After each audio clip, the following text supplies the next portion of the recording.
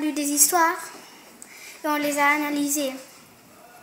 On a regardé le début, la fin, le problème, les actions. Livre.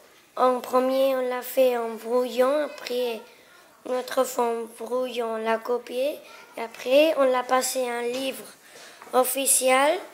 On a mis le titre, l'auteur et on a fait un mix de doublettes en français et en espagnol. On a fait des passages en français aussi et en espagnol. Si je suis allée le lire à, à mon frère en moyenne section C et à ma soeur en CM2A.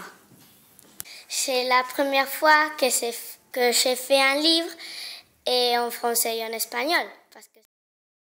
He pasado muy bien porque me he reído mucho con mis amigos, me han ayudado a hacer un libro.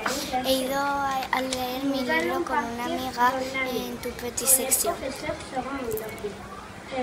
Hemos ido a muchas clases de primaria para contar nuestros libros y podíamos ir a los hermanos, primos y les ha gustado mucho porque nos hacía mucha ilusión.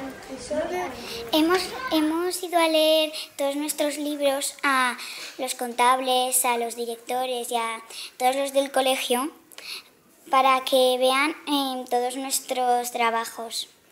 Los pequeños de, maternel eh, les han gustado, pero teníamos que hacer muchos gestos para que nos entendieran.